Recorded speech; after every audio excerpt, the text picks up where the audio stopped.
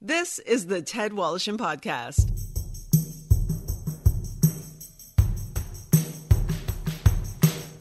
Brought to you by Halenda's, the meat people. Enjoy their award winning products at selected Metro, Sobeys, Fortinos, and Foodland locations.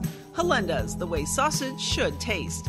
And Tom's Place. For the finest in men's clothing at unbeatable prices, it's Tom's Place at 190 Baldwin in the heart of Kensington Market. Tom's Place will suit you. And now, here's Ted Woloshyn. My special guest this week is the recipient of a Lifetime Achievement Award from the Radio and Television News Directors Association. His broadcast career includes work in both radio and television in Montreal, Halifax, and most recently in Toronto as senior anchor of City TV's City Pulse newscast. He did so since the station's inception until 2016. He has dedicated countless hours volunteering for numerous charities, most notably the Herbie Fund. Welcome, Gord Martineau. Good to see you. Thank you very much, uh, Ted, for having me on. Good to see you too. You're you're Montreal born and raised, right? Right? A, yes. a, a Habs fan. You know, this is the problem when when you're public, when you're a public individual that you have to cheer for the hometown game, and so uh, I, I adopted the Leafs as my team. But I mean, I have Yeah. a lengthy history of hockey in my family, and my father was a professional goaltender. My two cousins, Donnie and Gordy, uh, played for the Canadian team or the European. They won the European Cup in 1952 and got presented with the trophy by uh, Prince Philip. Uh, and Gordy later played for the Habs for a while in the early 50s for Sam Pollock. So, yeah, I love hockey and I love the Habs. I have actually a signed photograph of Guy Lafleur, Rocket Richard, and Jean Beliveau all Wow. together. That's pretty cool. Now, were you a uh, an Expos fan when the Expos landed at Jarry Park? I was. I remember uh, going to to uh, the Olympic Stadium when the Expos were playing, and the Cincinnati Reds were in town. And so uh, the, the guy doing sports, Ron Roosh was his name.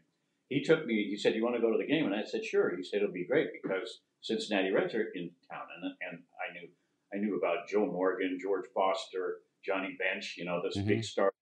But it was the first game that Tom Seaver pitched for the Reds after leaving. Uh, was it the Mets he played for? Yeah, I think so. Tom. Yeah, and so that was a big thrill for me. So yeah, so I loved it. Uh, you know, I used to used to be able to climb over the fence at uh, CFCF CTV station in Montreal because it was right next door to Jarry Park, and you could watch the Expos for free. Yeah. Now let's let's talk about your your youth your your youth in Montreal when you were a, a student in let's say high school or even Yeah. prior to that. Did you ever have aspirations of working in radio and television? Was that something that you dreamt of doing? I knew what I wanted to do when I was 14. And when I was 14 years old, there was no doubt in my mind I wanted to be in radio. Yeah. And because, and for the simple reason, the narrow-minded, self-important reason that that's where the money was, and that's where the girls. I could meet girls doing that, and I could buy a, a, a cool car. That was my, my motivation. I don't think you're the first person or the last person to enter that uh, that realm for that reasons. No, absolutely. I, I quickly learned uh, when after I did an audition for a station in uh, Dartmouth, Nova Scotia, that uh, information was where it's at. Information is king, Yeah. and so I forgot about being a rock jock and worked in the newsroom and, and labored for three years and finding out what news was, what it was all about, and the, the, the key tenets of journalism. And how old were you exactly, Gord, when when you gave birth to that voice? um, it, it, it just it just happened. Uh, I guess when I hit puberty. Yeah, well, I mean, you were you you were probably like six, and all of a sudden you sounded you're sounding like you're 35, right? Good morning, got- mother. Yeah. Alphabets again. But you know what I used to do when my mother came home from work is uh, as she was making dinner, because that's what she did. She worked all day and then came home and made dinner for, for us. And there were five of us. And uh, I used to tell her the events of the day, what had happened. Really? And I don't know why I, I did that. I just did that when I was in high school. And so that was kind of an, an early inkling that information was important to everyone. Yeah. Now, you started off in radio Yes, in Halifax. yes. At what station? CFDR, which is no longer on the air. Hmm. Three stations that I worked for uh, are no longer on the air. They're, they're all AM stations, and that maybe there's there's a message there or something. I don't Yeah. know, but yeah, it was CFDR, and it was uh, it was geezer music, Ted. Yeah. you know, Easy listening, Uh huh. Uh huh. and you know, all I wanted to do was listen to rock and roll music. You know, so Yeah. that was a little frustrating for me. But so what? I, I had a job, and I was glad to have it. And how old were you when you got that job? Nineteen. 19. And you know, I didn't know at that point in my life. Um, I didn't know what I was going to do. I sent out audition tapes. Okay, so and and you you'll know this. When I did the audition tapes, I did it on a half track machine. And when you use a half track machine, if you make a mistake and go back and record over it, you end up with two voices. And so I made a million mistakes, and, and there were a million tracks on the tape. Sent it out to a number of radio stations, never got an answer. And I'd gone to, uh, I worked at the Douglas Hospital uh, over that summer. Douglas Hospital was uh, uh, an institution for people with psychological challenges. And I used to make baby food. There were a lot of children in there, and I made baby food in the cafeteria. That was my job over the summer. And then a friend of mine said uh, at the end of the summer, "Why don't we go to Detroit and see what happened in the riots?" Okay, so I went to Detroit. We spent a couple of days there. When I came home, there was a message from uh, the manager of a radio station in Halifax who said, "Well, we're holding auditions. If you want to come down, great. If you don't, that's that's up to you. But, you know, here's the radio station," and, and gave me the address, and that was it. Over that summer, uh, I had saved. I think I had ninety-five dollars in the bank, and so I bought a ticket to uh, an airline ticket from Air Canada to go to Halifax and to do the audition, and never came back. How long did you stay there? Three years. And did you, is that where you transitioned from radio to television in Halifax? No, the transition came. What happened was I'd left CFDR, and I wanted to come back to Montreal. I missed my friends, Yeah. I missed my town, my family, all that, and so I auditioned and got a job at, at CJAD, which was the standard broadcast station. Sure. And so I did late night news uh, there for a year, and real, realized that you know the only way to move ahead in this business is if somebody dies at, at CJAD because they, they were all lifers there. I thought, I'm, I'm going to be doing this these hours forever.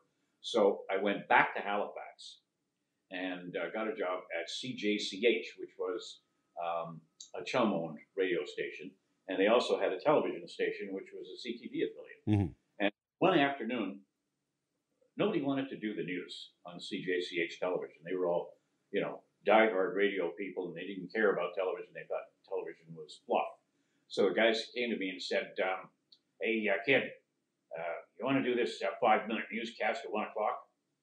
I said, uh, "Okay. Well, you have to write it and do everything, but it's all yours if you want it." I went, "Oh, okay."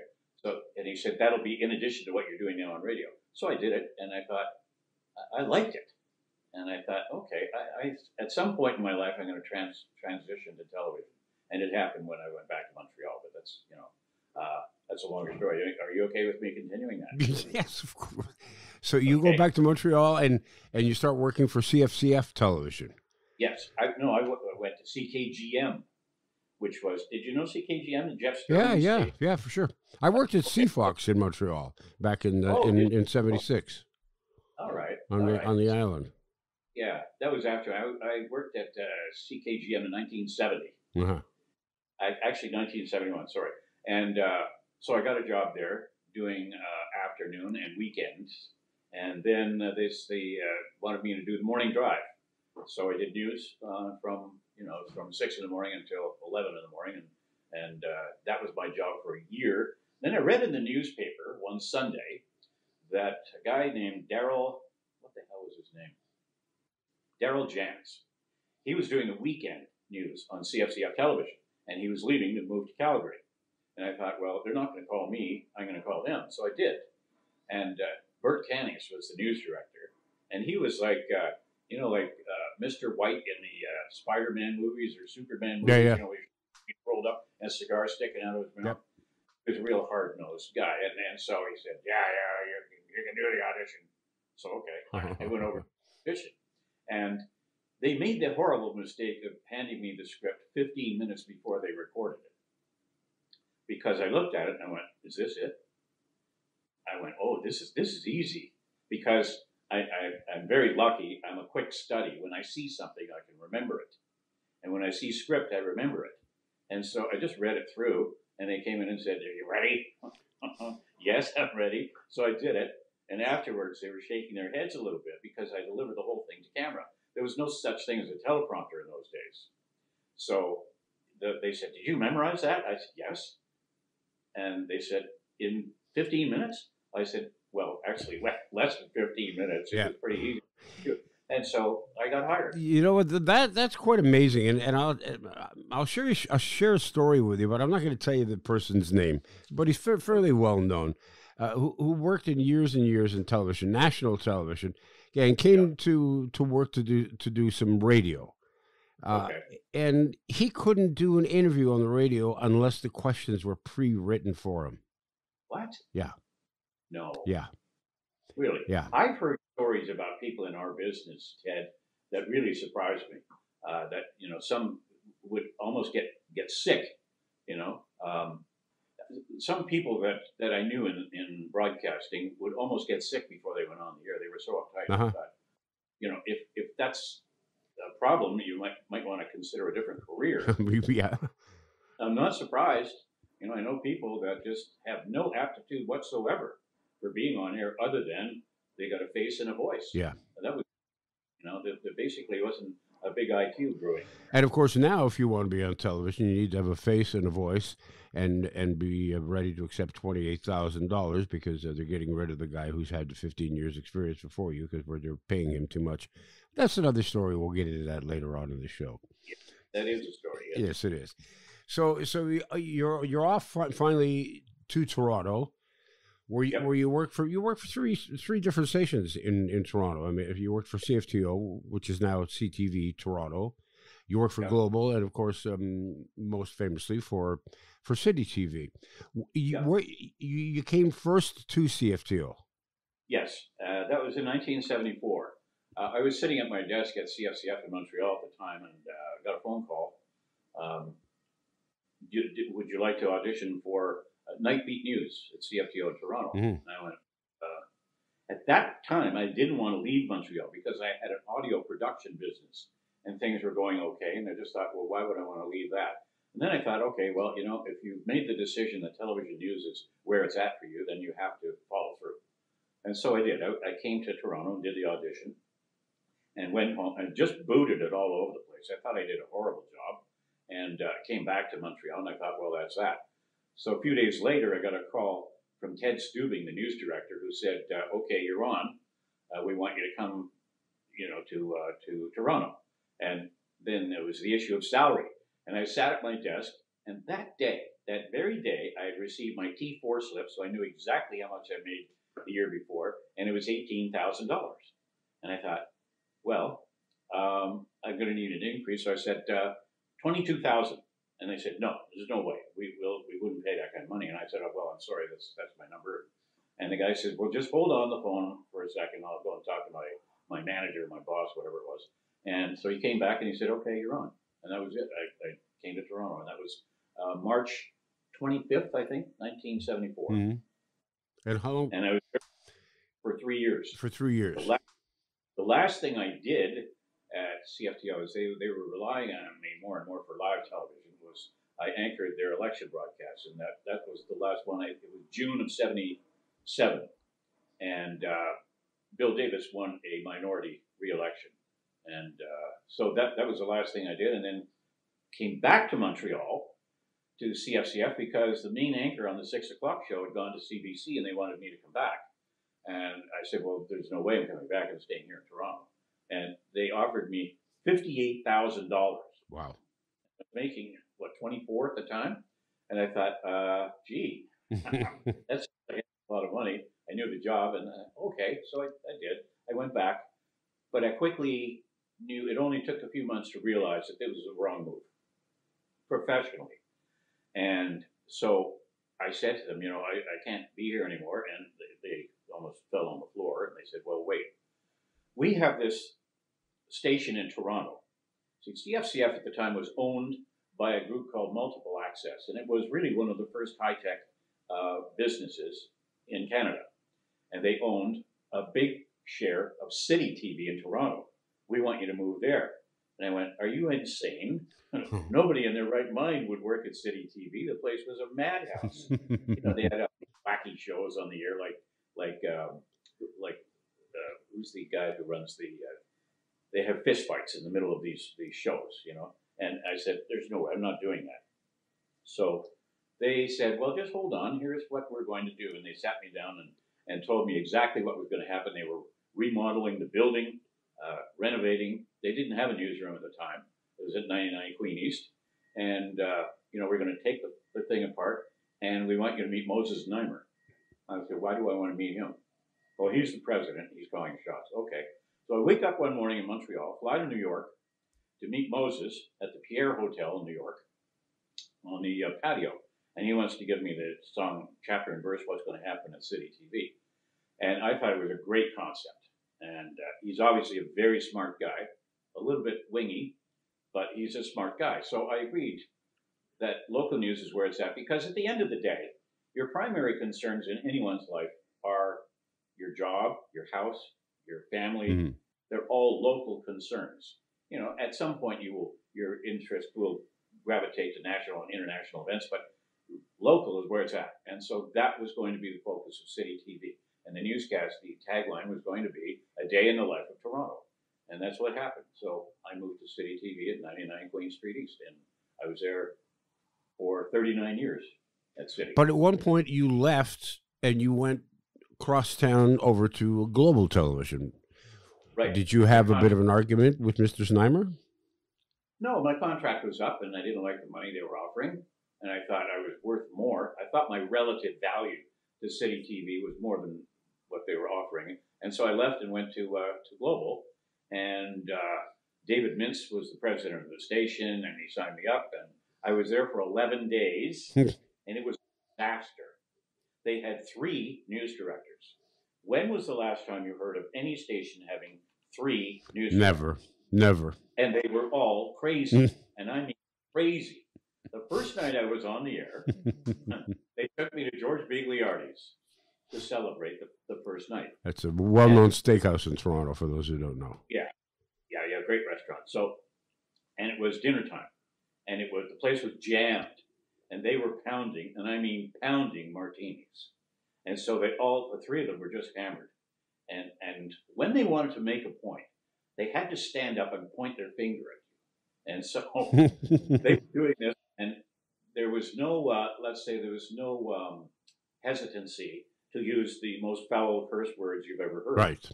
And so the people in the restaurant are turning around looking at what the hell is this? And I thought to myself, oh no, what have I gotten into here? And they were all crazy.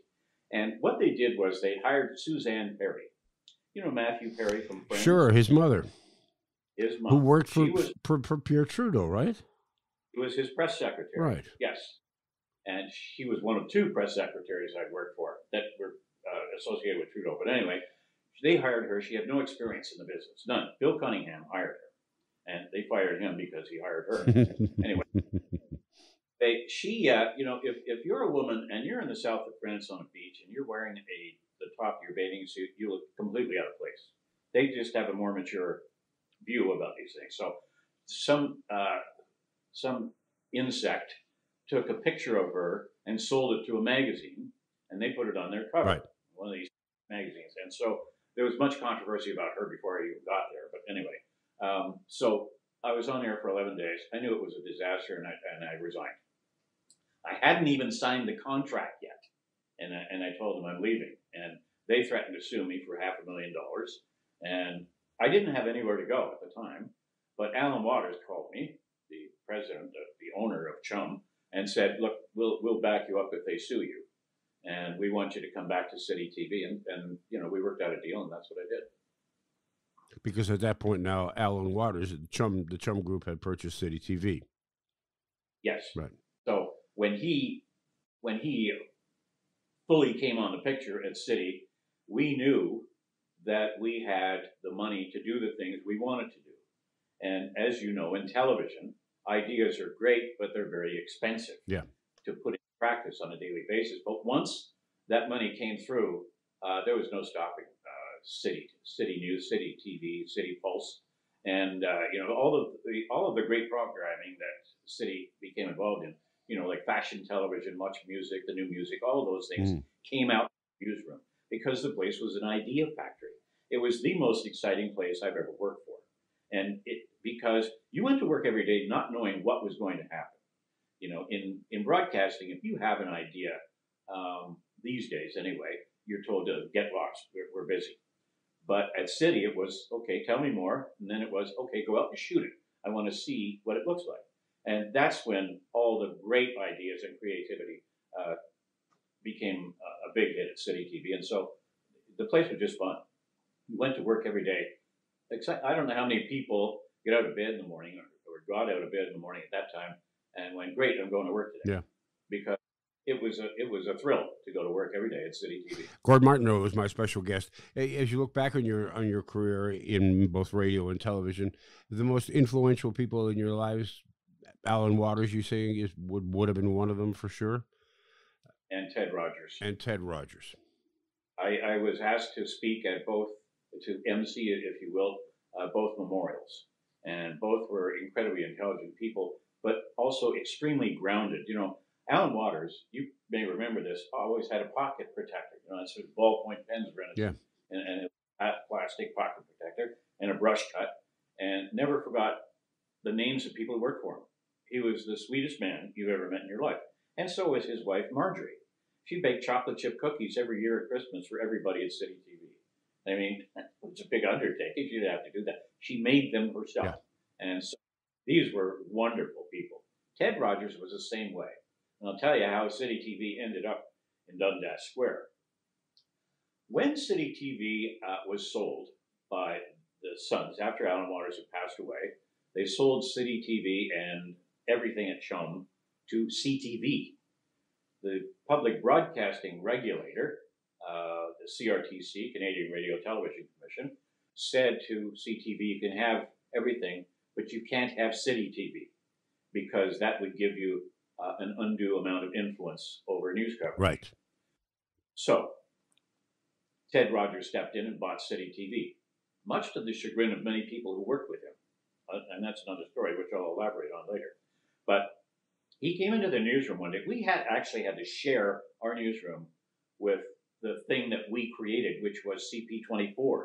We we created that monster, and for some reason, Ted Rogers let it slip through his hands and didn't include it with City News. So anyway, um, he came into the station one day and said, "Okay, well, we have to move. Does anyone have any ideas?" And I knew uh, I was, a, I was, and still am an avid cyclist, and so I used to cycle downtown all the time. And I knew that building at 33 Dundas Square was empty. It had been purchased by the Olympic Spirit Group, and for the reason that they could demonstrate certain Olympic activities which athletes had to perform in order to win medals, and it also had a restaurant in it. But I guess there was a, a lack of interest in it because it folded not long after it began. And so the building lay empty for, I think, about a year and a half. And so I did some investigating, and I phoned Ted Rogers on a Thursday afternoon. I said, Ted, uh, I'm sorry to lay this on you like this, but I have an idea where we should be. And it's in Dundas Square. The building is owned by the Olympic Spirit Group out of Geneva.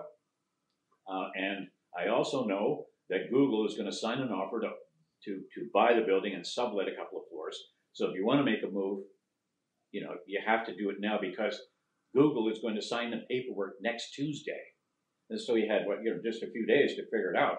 And he put down the phone, got in the car with Loretta, his wife, drove down, looked at the building, and wrote the check. Hmm. And and I was flabbergasted. I didn't I didn't think that you know I had any influence or or that he took any uh, interest in, in my idea, but he did.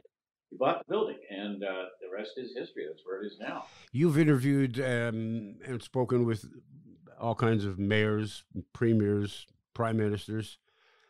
Yeah. Any of them specific, uh, stick out in your mind that you either did get didn't get along with or really got along with well? Pierre Trudeau, Jean Chrétien, and Stephen Harper as prime ministers. And I like single one of them because they were nice people.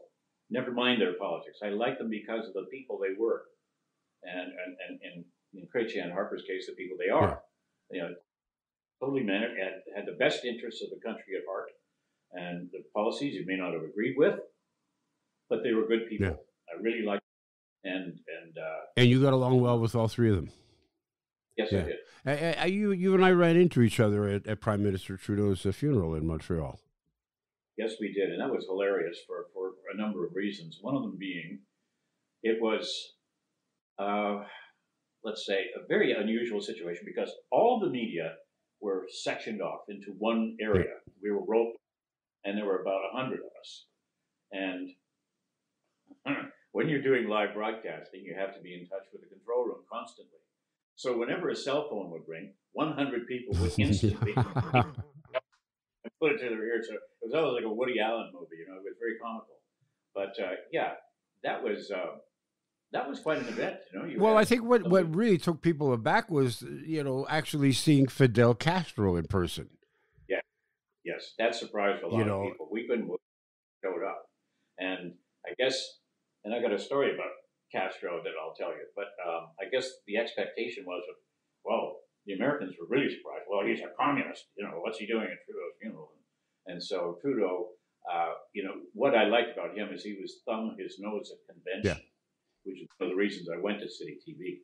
But he, I mean, he dated Barbra Streisand, Liona Sure. Boyd. I mean, this was a cool guy.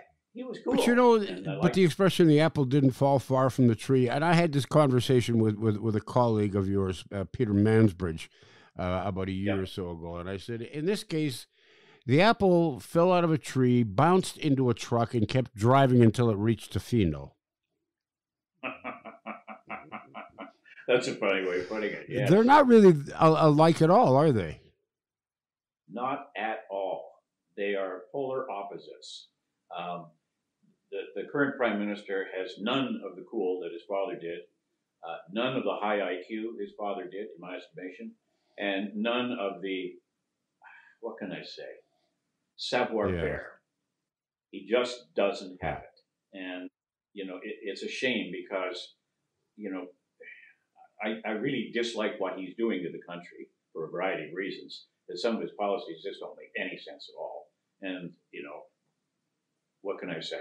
Uh, they are polar opposites. Pierre Trudeau was a cool guy, very smart man, Rhodes Scholar, all of that. You know, uh, and his son is not. And what did you see in Stephen Harper? Because a lot of people, uh, they look at Stephen Harper and they think that this guy is is, is, is as stiff as the cardboard in, in your shirt from the from the dry cleaner. Well, that was that was the image. I think he cultivated that. Yeah, I think he may have. You're right. he, he was very aware of his image. And uh, but I got an exclusive with him the day before the election uh, when he won, and I just said to myself, he was you know in a minority position, and I said to myself, what is it about this guy? Because we spoke casually. It's, I interviewed him a couple of times, but the day before the election, um, he agreed to do a one-on-one, so I did. And I said to my producer when we left, I said, this guy's going to win the election big time tomorrow. And she said, What? I said, Yeah. He gives every indication that he knows what the outcome is going to be. I guess he had polling done, and the polling suggested that he was going to have a majority, or he was going to win a majority. And when I signed on that night on the election broadcast, I said to my uh, producer, another one who was handling the, the broadcast, I said, five minutes into the broadcast, I said, declare a Harper majority. He said, Are you insane? I said, No, I'm not. Stephen Harper gave me every indication that he was going to win big. He had a smile that was, you know, he did, did smile very often, but it was a, you know, a cheek splitting grin that, that just Yeah. wouldn't stop. And so, and I was right. We were the first to declare major- Harper majority. He- He's an interesting man. I like him because I felt he was a real person. And, and you get that from him. I don't think uh, Justin Trudeau is a real person. There's something missing. He he comes across like he's he's still teaching his acting class. The drama teacher. Yeah. Yeah, yeah you get that from him, you know? And I, I don't understand. He seems to be, you know, and, and you, you get this elitist uh, vibe from him, especially when he's traveling. You know, he's, he's singing in the piano lounge uh, at a hotel at the, when the Queen died, you know what I mean, as he's attending the funeral. Yeah. I mean, just he, things that just don't make any sense. While he's staying in a six thousand dollar a night room. seven Yeah, thousand. which you wouldn't admit, which you won't admit to. No, and and the money uh, that is spent on his private jets going here, there, Yeah. and everywhere, which is completely unnecessary. Uh, Do, do- do you- it's do you think if you had an opportunity to uh, to interview today uh, Jean Chrétien, and if you asked him what he thought of, not that I want to make this a Justin Trudeau bash fest, but what would he Yeah. think? oh, I think he would be very Yeah. unhappy. Um, and you know, but I think in true Chrétien fashion, he wouldn't say Yeah. much, but you would get an indication from his the, the way he responds to questions, but what his true feelings were, because he's a classy guy too, a great Chrétien. You know, he's he's a, a you know a typical Quebecois, nice person, totally grounded, manners, moral Yeah. fiber, moral compass, you know, all of that. Do you see anybody in the in, in the future federally that that, that that's going to have become one of those great statesmen, statespeople? No. I, I don't. Uh, you know, because, partly because I haven't spoken to any of them or, or, or observed them. Uh, Yeah. You know, microscopically, like you do when you're when you're working. You know, I had to throw off that yoke and and just not do that anymore, which is a huge transition.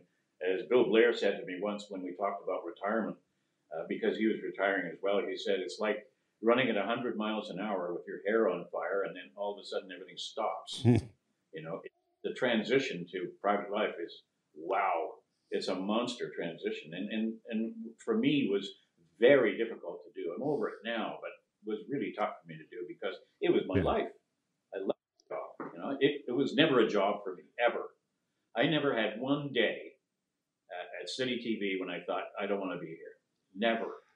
And I, I, how lucky am I?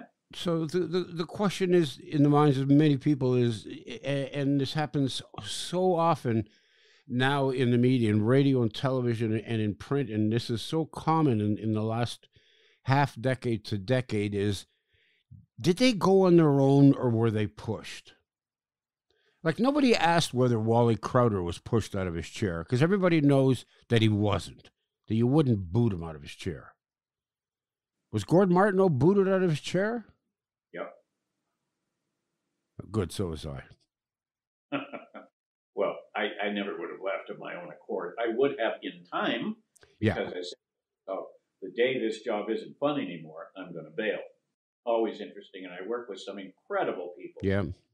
You know, that, like I said, how lucky am I? I'm the luckiest guy in the world, in my estimation, to have had that job for as long as I did and to have worked with the people I did mm-hmm. because every single one of them was a 100% pure human being. Did you see it coming? Yes.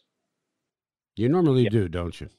Yeah, yeah. When uh, Rogers was making some moves in, in terms of management, and you could, the writing was on the wall. I knew it was coming, and I was not happy about it. But uh, you know, what could I do? Um, I I was never going to let it influence my presentation or the, the way I acted publicly. It was never going to be that way because um, my lawyer, Michael Levine, everyone knows Michael Levine Sure. he said to me, if you go out on a bad note, uh, it will hang over your head forever. So don't do that. Yeah. And I agreed. So, and that's what I did. I just, you know, they wanted to have the big party for me, and I said no, thank you, uh, because, you know, in, in my in my opinion, there's nothing phonier than feigned sincerity. Yeah. And that's going to be, and I didn't want any part of it. And I just said, you know, thank you very much. Um, I've had a, a great run, 39 years, and uh, goodbye. Yeah. I didn't on air either. I just signed off and, and walked out. Ted Woloshyn returns in a moment. Hey, if you're looking to restock your wardrobe, maybe you should consider my friend Tom Mihalik at Tom's Place. He is the inflation fighter, and right now they've got incredible deals like lips and shirts. I love these shirts. Regularly up to two twenty-five, now only sixty-six dollars. Designer suits are regularly up to five ninety-nine, now between one seventy-nine and two seventy-nine. And if you're looking for a nice sports jacket, valued at up to six ninety-five, well, they're fifty percent off. Tom's Place and Kensington Market. They're located at 190 Baldwin. Check them out. They are the inflation fighters. Have you been tasked with the role of a state executor or expected maybe in the future you will be? Well, if so, let me make your life a lot simpler by introducing you to my friend Debbie Stanley. Debbie is the founder of ETP Canada. They specialize in estate administration. Their goal simply is to help Canadian executors understand their role and how to deal with the loved one's estate. Let's face it, there's no school for this, but ETP Canada offers services such as executor support, estate accounting, and they have a new online course called Executor Ready. It's an engaging video designed to make estate administration easier and affordable. And those are two comforting thoughts during a stressful time. So call Debbie Stanley at 1 866 309 0387. That's 1 866 309 0387. Or you can get her at info at etpcanada.ca. That's info at etpcanada.ca. Now back to Ted Woloshyn. Gordon Martineau is my guest. What's your take on the Lisa LaFlamme situation? Do you, you know Lisa? I don't know her. I've never spoken to her. Uh, but I would have enjoyed the opportunity. But it, it makes no sense to me because when you when you look at the situation, when you look at the numbers, you know the ratings and and how difficult things are for any broadcast institution or print uh, uh, initiative these days, then you realize she was the reason people were watching television. Yeah. She looks like the people who watch TV. That's right. Plain and simple. Why would you play with that? Why would you cancel that out? Why would you alienate your, you know, your viewership by doing that? I think it was the, the, a terrible decision. Terrible. Well, because she mirrored the audience. You you can't you can't bring in somebody, and, and this has nothing, no you know, no reflection on Omar Sachedina because he does he does a great job, and he's somewhat younger, but not a lot younger. And, and Yeah. it's like, it, do, do they think that he suddenly is going to be attracting twenty five year olds? Because I got news for you. 25 year olds don't even watch TV. They watch streaming. They don't listen to radio. They download music. They don't read newspapers. They walk around with, with iPads and, and, and their phones and pick up information. Those days are gone. Yes. You know what's key to this thing too, and you know this from from your experience in broadcasting. For example, when you wake up in the morning, you turn on the radio. If your person isn't there on the air, you are subliminally upset. That bothers you. Yeah. So when you take away Lisa LaFlamme and put on uh, Omar Sachedina, who worked at City at one time, nice, nice enough guy, but you know, people, you can't get warm to somebody you don't know. And so you're risking a hell of a lot. Omar may turn out to be the best thing they've ever had. I don't know. But I know he's dedicated and he's a good journalist. But, you know, there's a bond that happens, a subliminal bond that happens with whomever is on the air, be it radio or television. You like that person for a reason. You listen to them or you watch them for a specific reason. Mm-hmm. When you play with that, when you cancel that out, you're risking the whole game.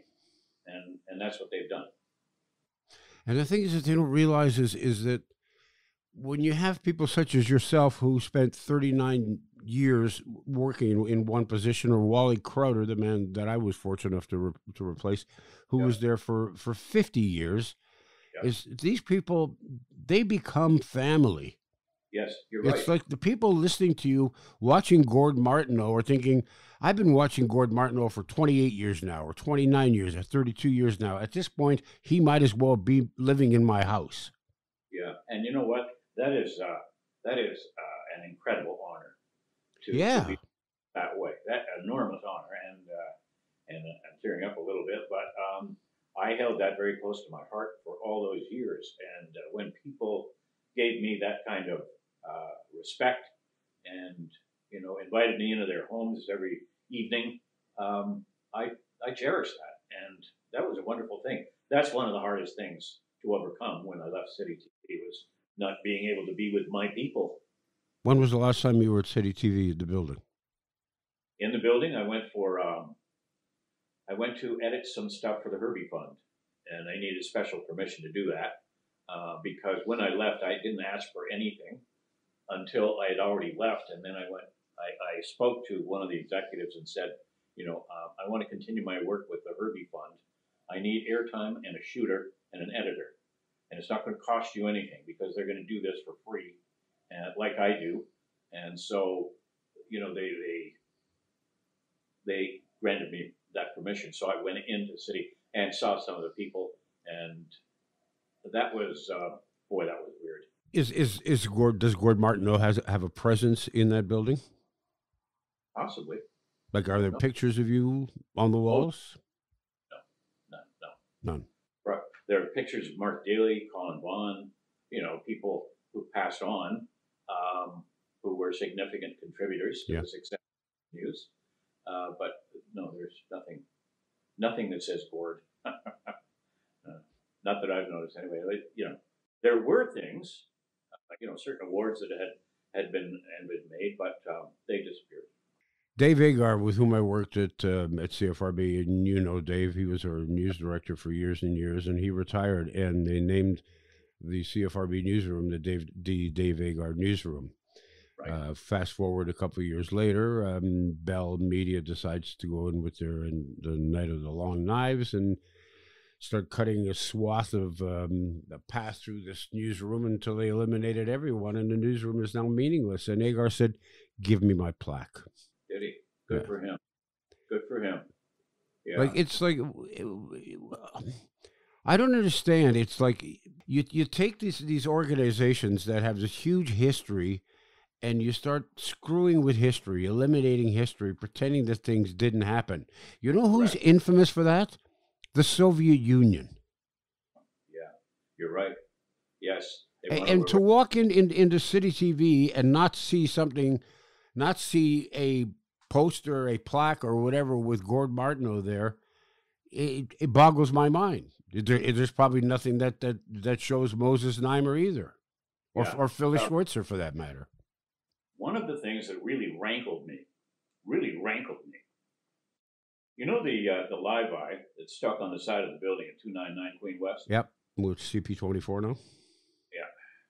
And it was City Pulse written on it? Yep and it was all bashed in because it was bashed in that way when when they took it out of service. The Bell Media uh, painted over it, and I just thought, you know, you have.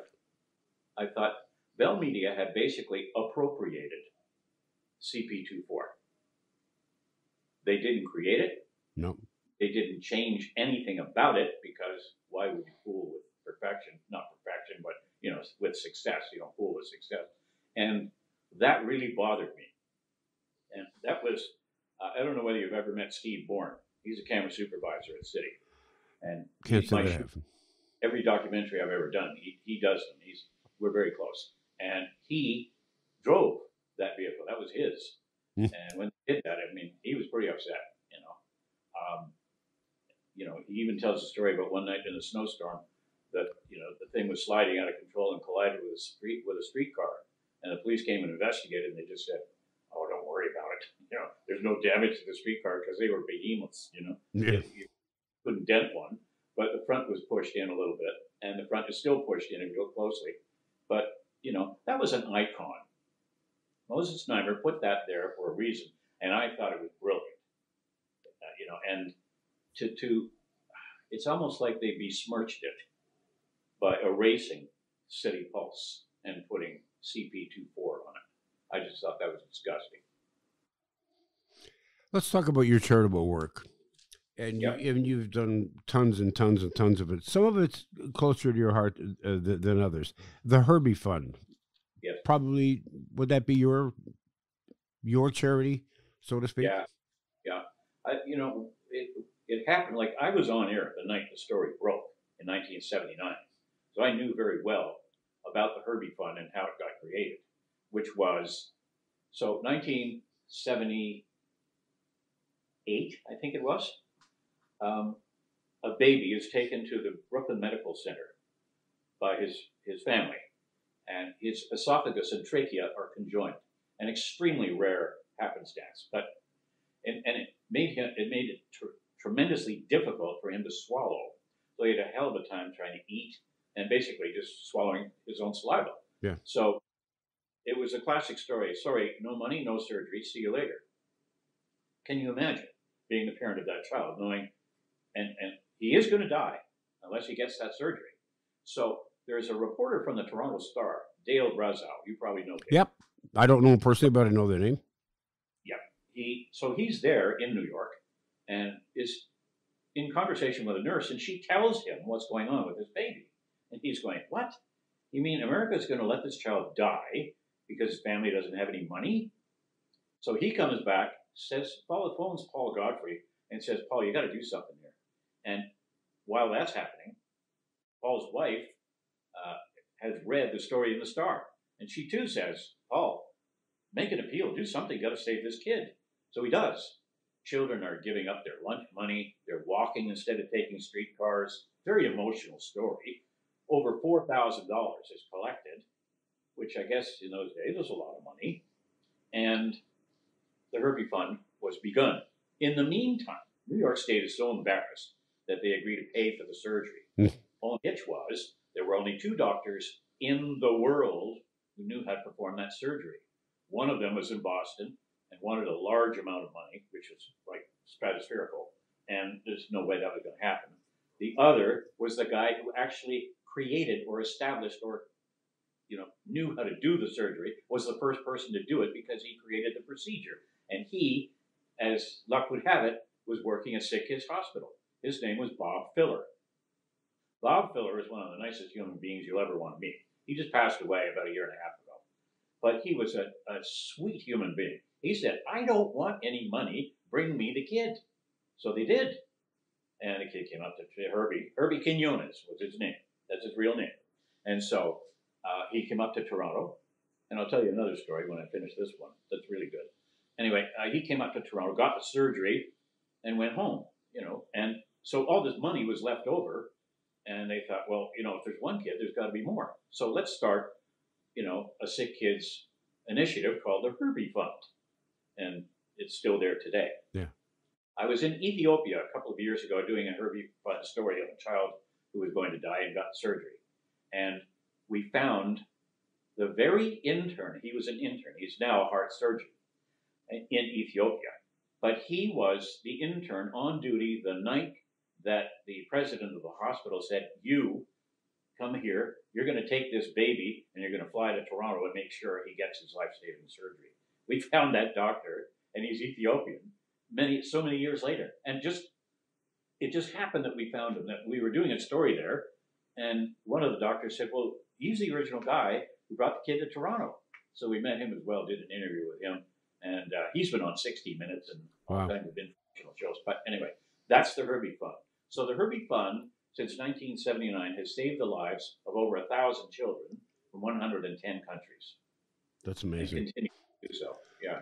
That's amazing. And now you recently spent some time in Ukraine, war torn Ukraine, as the war ravages on between, well, it's not even between anybody. It's just an attack on one country from another country uh, with, with Global Medic. Tell me about that and your experience there. Yeah, well, I, I'm a volunteer member of the uh, on, on the board of Global Medic, and it was begun by a guy named Rahul Singh, who was a Toronto paramedic. I did a story on him uh, in 2002. I used to have this series called The Livable City. Mm-hmm. People who were doing things that made the city a better place or did something, you know, better for society in general, and who were Torontonians. So I did an interview with him one day. He explained what he was doing. He would hold uh, T-shirt sales, barbecues, and save up any donations that were made until he had seventy-five hundred dollars, and then he would book a shipping container and send medical supplies over to a third world country. Those medical supplies were beds, gurneys, um, things that had been taken out of service and were in a warehouse or a landfill site. And if they were in a warehouse, they were going to end up in a landfill. Right. And so he said, this is ridiculous. Somebody can use this stuff. And so he started this fund. And it was named after his best friend, uh, David McAntony. David McAntony Gibson, I think was his name. And so he started and, and then changed the name to Global Medic. But um, he said to me, Hey, we're going to Cambodia. You should come with us and do a story on us. and I said, Yeah, sure. I'll just drop everything and, and run over to Cambodia. I've had a pretty ridiculous idea. But then when I thought about it, he's using Toronto police officers, he's using EMS technicians, and Toronto firefighters um, as volunteers to distribute the medical gear that he's collected. Mhm. I thought a great story about Toronto. So I said, I kind of got a little egotistical about it. I went into the news director and said, I'm doing this story.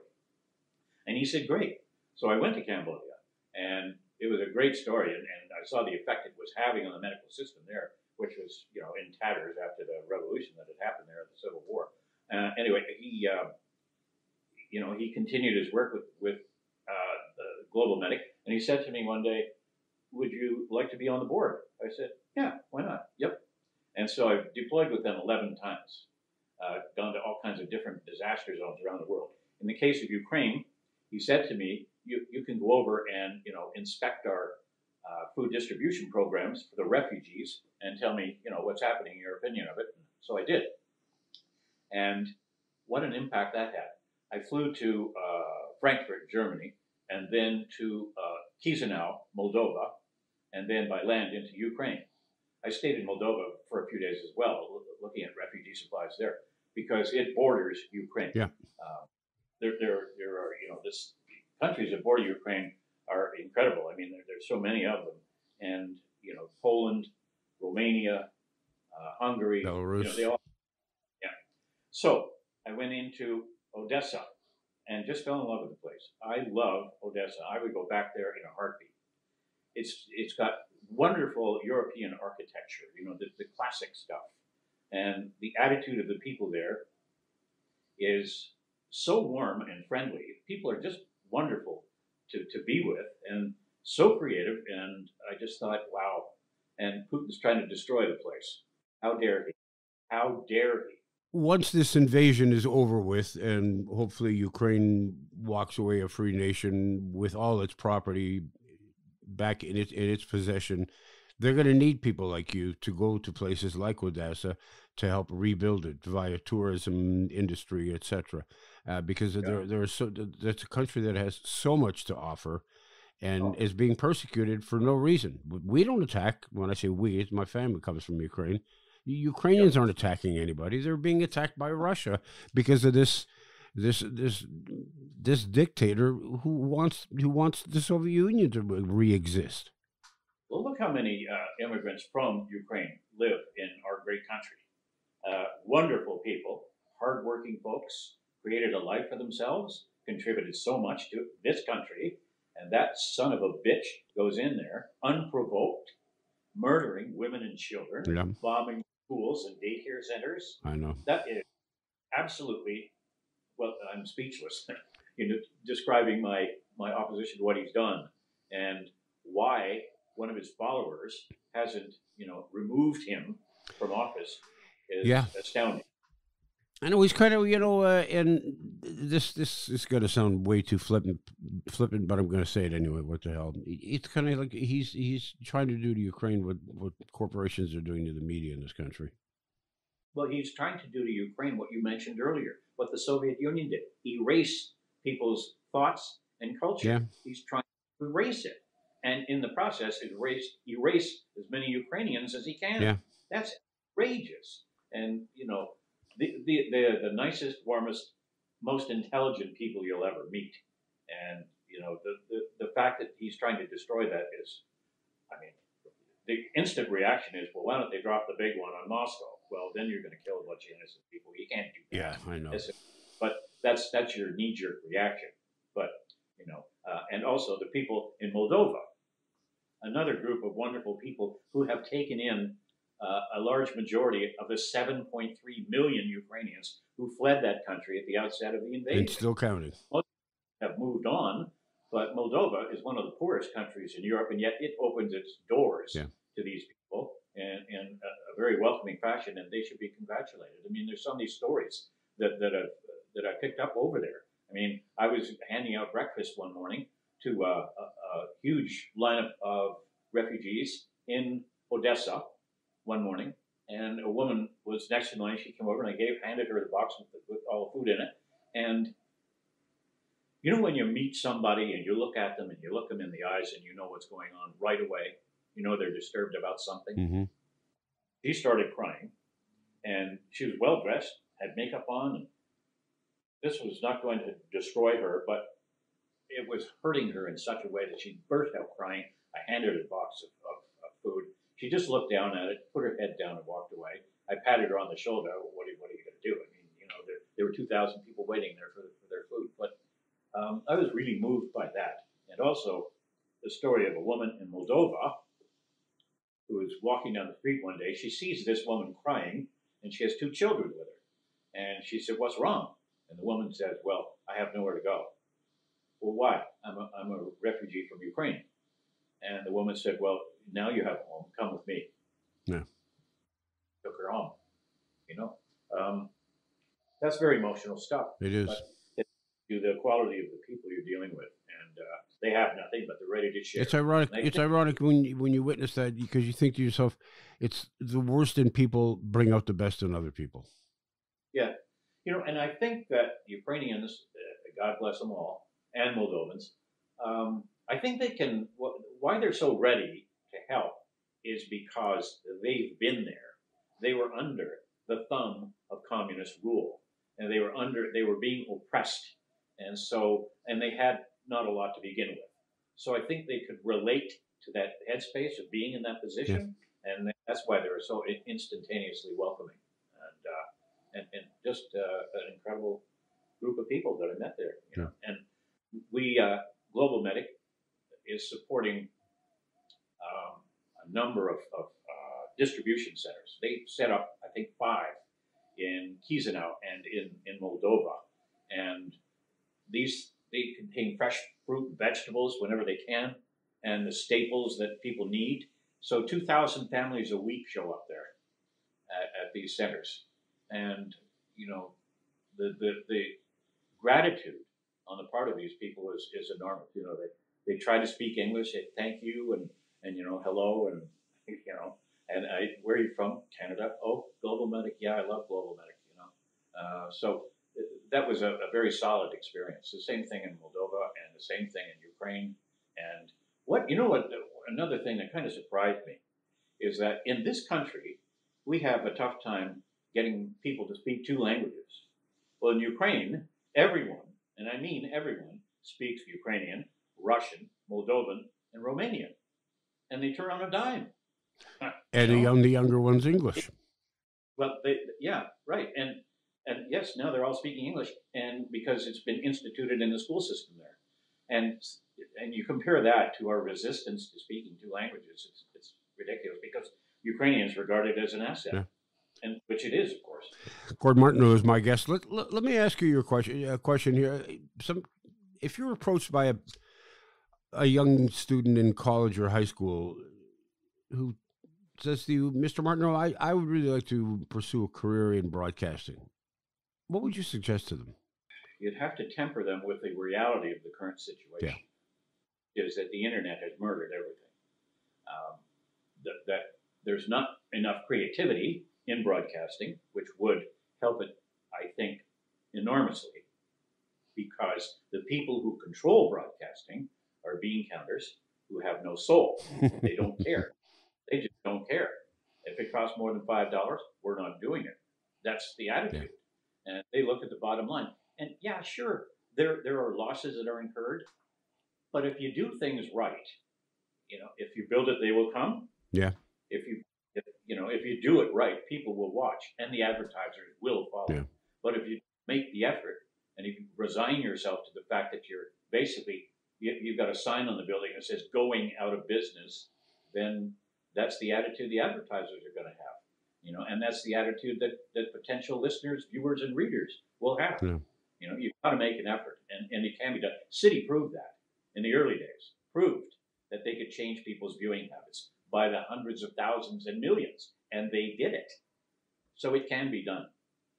So there is hope for people who who aspire to uh, work in, in, in the media.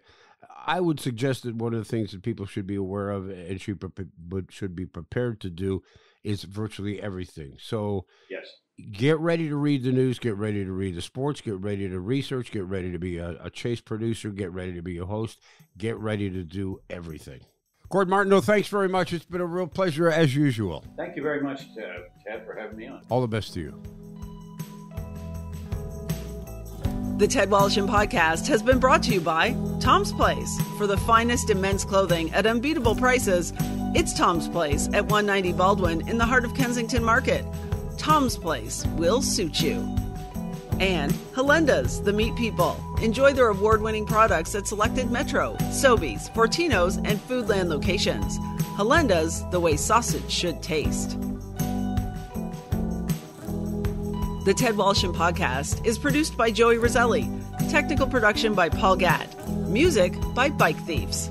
I'm Becky Coles. Submit your questions and comments to ted at twmedia.ca.